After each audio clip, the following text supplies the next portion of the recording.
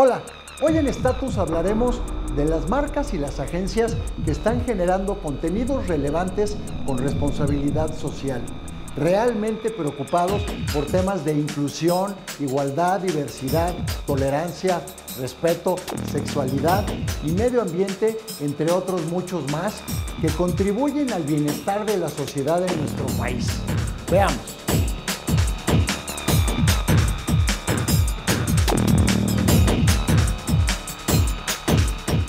Sin duda alguna que la ciudadanía, para cambiar hábitos y conductas, hoy en día lo que lo mueve, pues son los medios.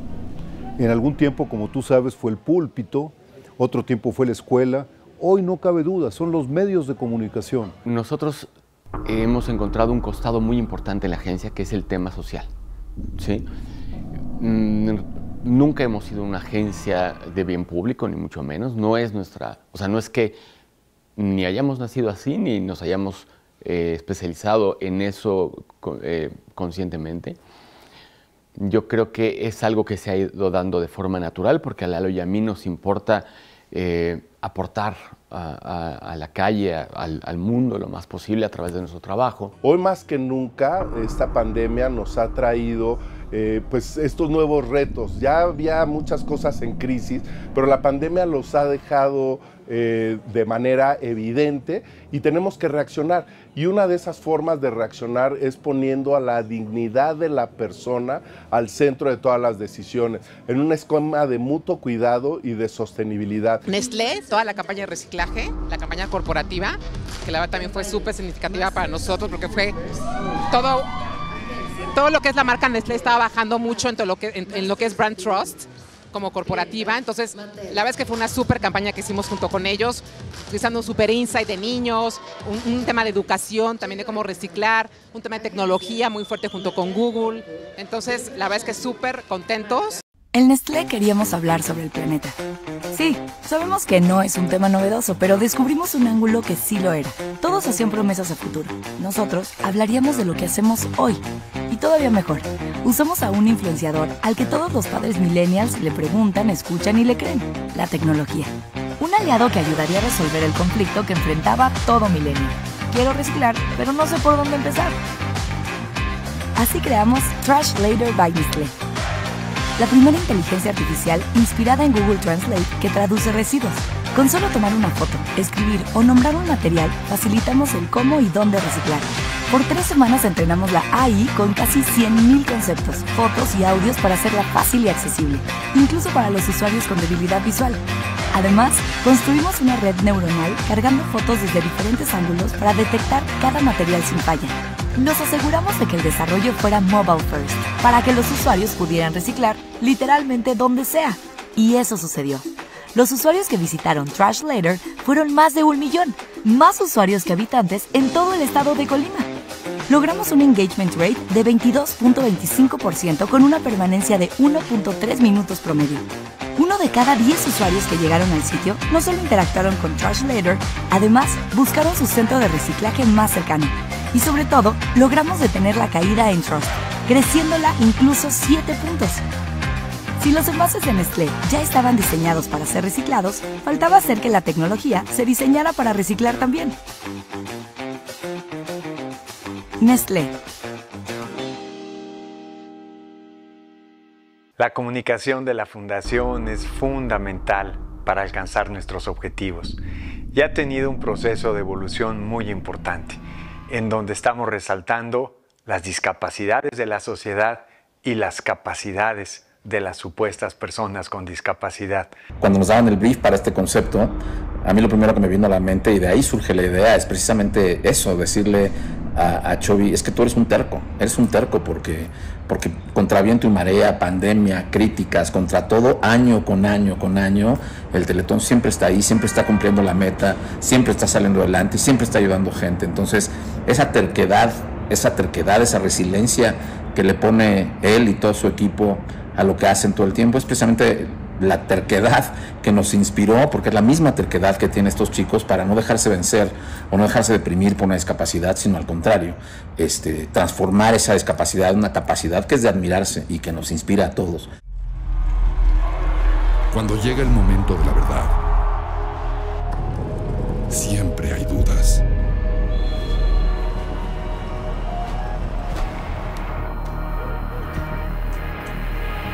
Un verdadero atleta sabe que la prueba más difícil ya la ganó. En la vida. En el día a día. En la mente. Y que si somos capaces de vencer en la prueba más grande, podemos ganar en la que sea. Y hacer de lo imposible una realidad. Dedicado a todos los atletas egresados de Teletón y aquellos deportistas que ponen muy en alto el nombre de México. Teletón, orgullosamente tercos.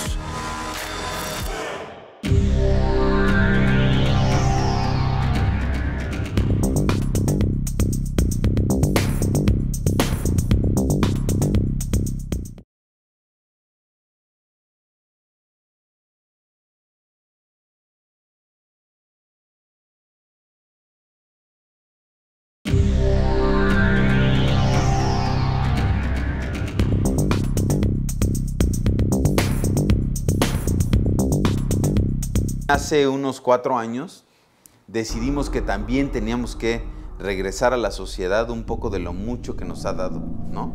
Sin duda lo- los mercados y el consumo, pues tenemos mucho que agradecerle, pero cómo poder regresar eh, lo mucho que, pues, la sociedad nos ha dado. Y es también cuando decidimos empezar a generar creatividad e ideas para fundaciones, organizaciones, ¿no? De- y diferentes, eh, pues sí, marcas, ¿no? O, movimientos que nos ayudaban, este, pues de alguna forma, a poder hacer ese, ese retorno, ¿no? De- de todo lo que habíamos logrado. De las cosas más exitosas que hemos hecho, te puedo contar de Porn Education. Esta fue una campaña que logró muchísimos premios, pero sobre todo logró muchos alcances. Entonces, eh, en mi rollo conservador y, y sobre todo cuidando mucho la imagen de la Fundación Mary Stopes, Mary Stops presenta Tuberías Profundas, la primera película pornográfica que enseña a los jóvenes sobre salud sexual y reproductiva.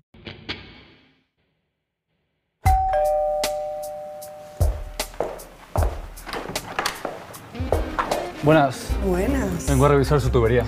Claro, pero este trabajo va a requerir una herramienta muy grande. Uy, ni se apure. Ahorita le metemos mano. ¿En dónde está el problema? Aquí.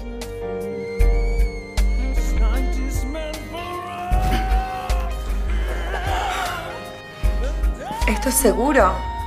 Claro. Vengo prevenido.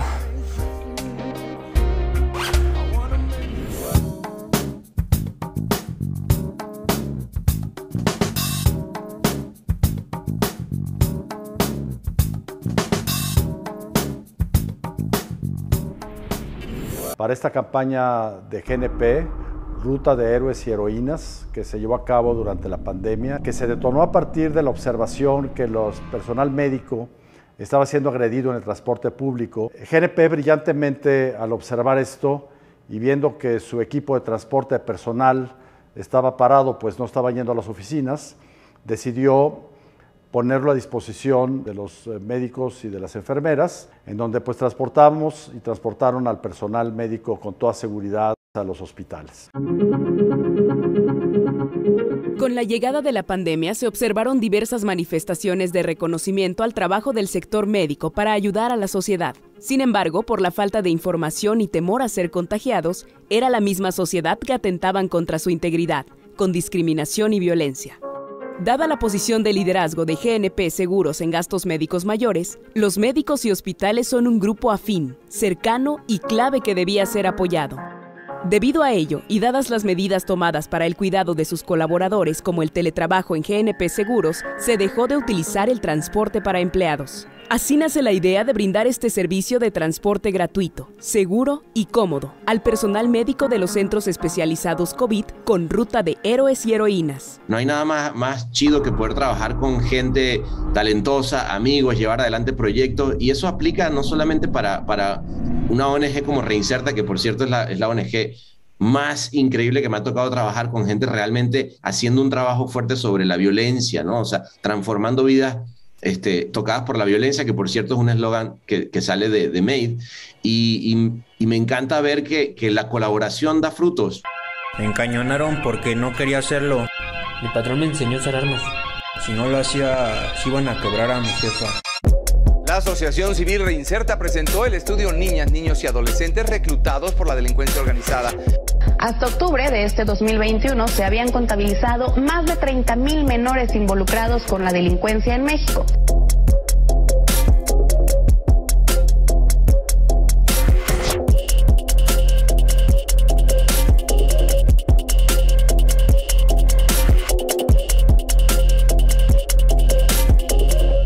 Pareció muy importante también invitar a, eh, a, las personas que colaboraron, que sorpresivamente para ti, que es el PANA, porque PANA abrió una, un colectivo creativo que se llama Rainbow Lobster y dentro de ese colectivo, ¿qué hizo? Eh, además, de, además de hacer la parte creativa, arte, cosas artísticas y demás, también funge de pronto como un asesor a clientes y, este, y en este caso entró como parte de el patronato y toda esta parte de asesoría a Reinserta, esta asociación importante de, gente, de niños que tienen violencia en la vida y que tienen que ver con, con la cárcel y tal. Sueño poder jugar un partido de fútbol acá bien grande el hecho de querer estar con su mamá y sus hermanas, ¿no?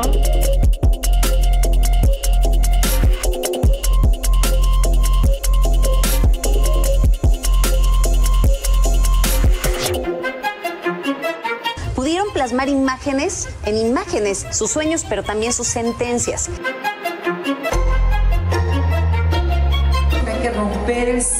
En todos los crímenes contra niñas, niños y adolescentes. Segundo,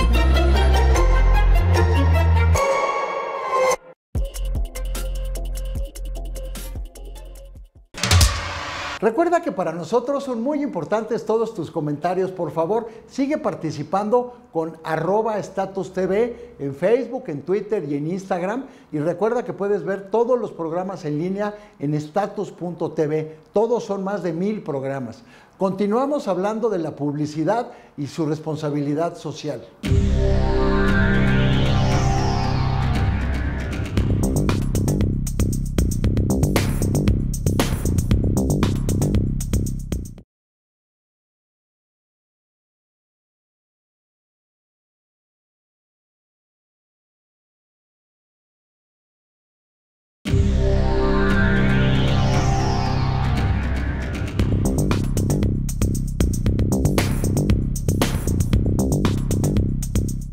Parte de, digamos, altruista viene desde mi abuelo, que participaba en varias actividades pues, de apoyo a la sociedad. Después mi papá decidió hacer la Fundación Herdes. Es así como nos dimos cuenta de que teníamos que desarrollar una plataforma que nos permitiera primero establecer un, un, diálogo con aquellas personas y consumidores que compartían esta misma inquietud por los temas de, de sustentabilidad. Y segundo, desarrollar una serie de iniciativas donde invitábamos a estas mismas personas a participar en, acciones que nos permitieran construir un mejor mañana.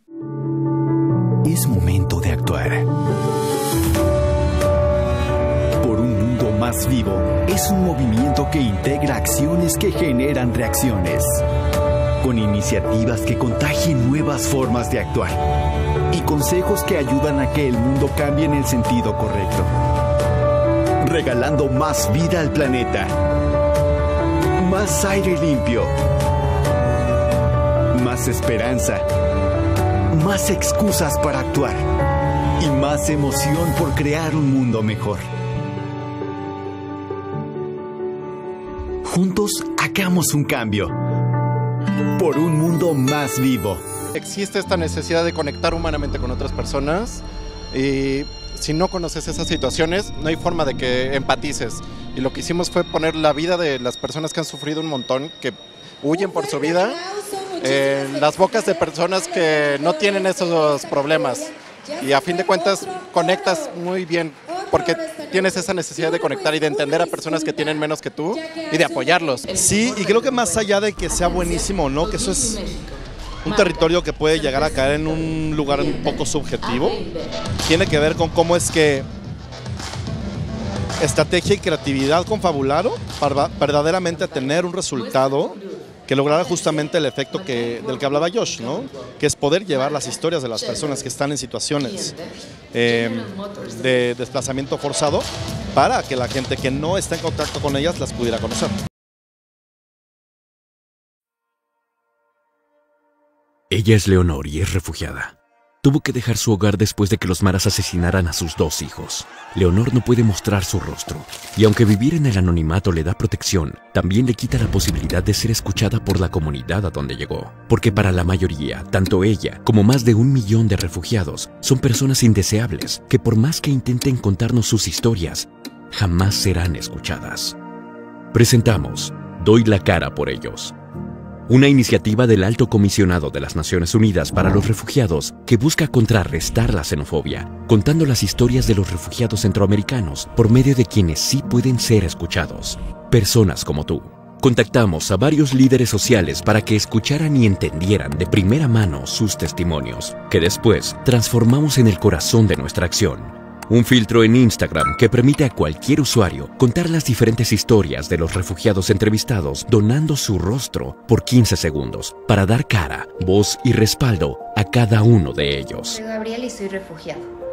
Huí del Salvador después de que una pandilla secuestró a mi familia durante, durante dos semanas. Gabriel no puede mostrar su cara porque corre peligro. Yo doy la cara por él.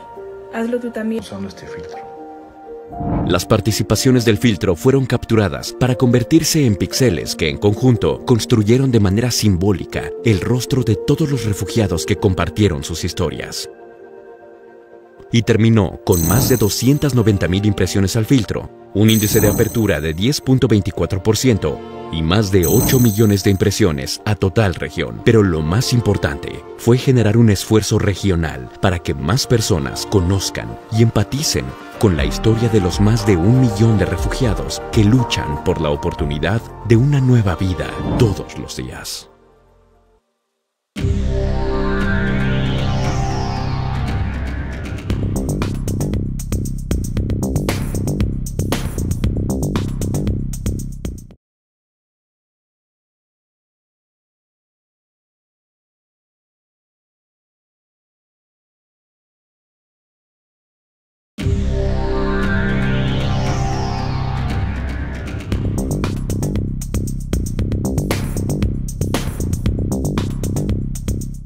Una campaña eh, para de awareness, justo para que las niñas no sufrieran eh, estas cosas que siguen pasando en la sierra y que de hecho subió muchísimo en la pandemia eh, todo esto porque pues bueno, como que empezó a haber como muchas carencias y como que volvió a subir otra vez el, el, número de niñas que siguen siendo vendidas. Yo creo que lo importante sí fue ayudar a todas las niñas, que van más de 300 mil niñas vendidas en matrimonio, entonces yo creo que cualquier esfuerzo que hagamos puede ayudar a, a cambiarles la vida.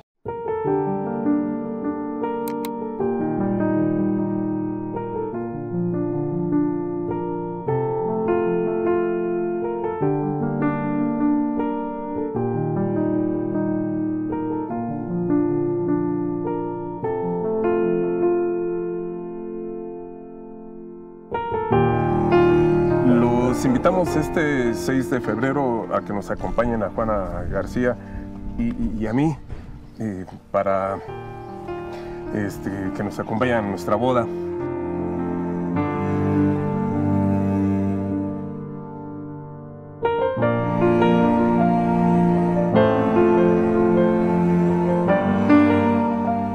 Aquí Juanita, mi prometida y yo, Roberto. Los esperamos con los brazos abiertos.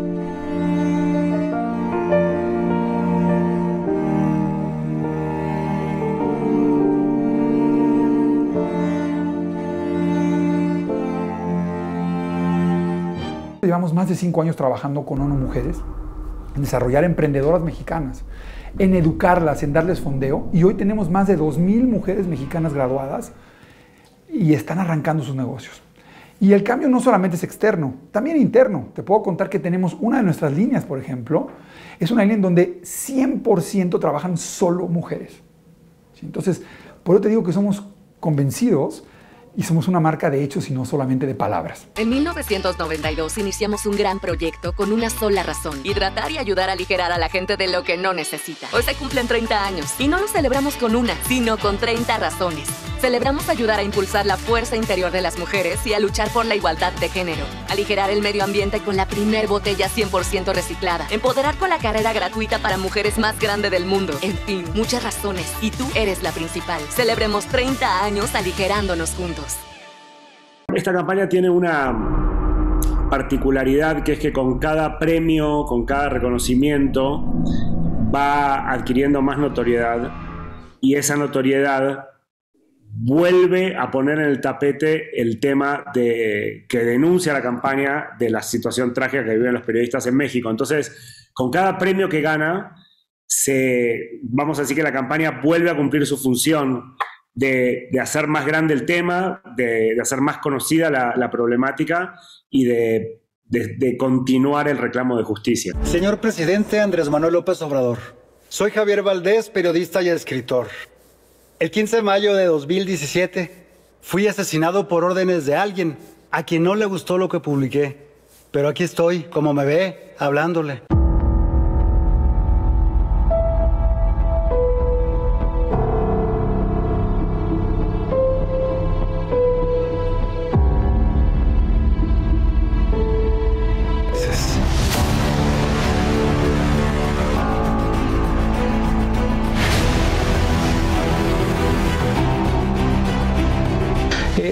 Fue, una sacudida la campaña el día de hoy. Ha sido, ha sido de verdad una revolución.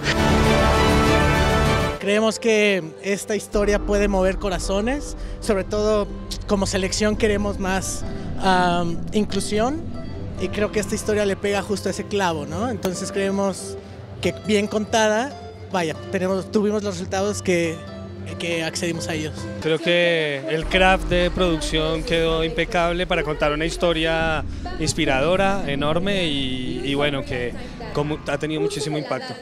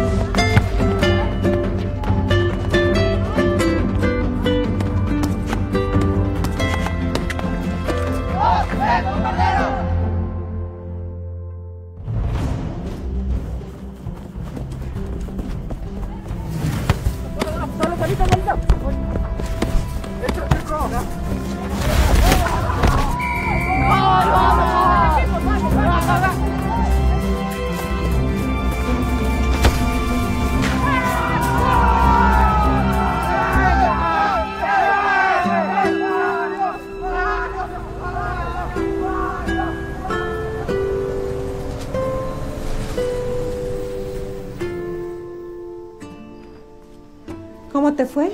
Bien, ganamos. ¿No vas a cenar?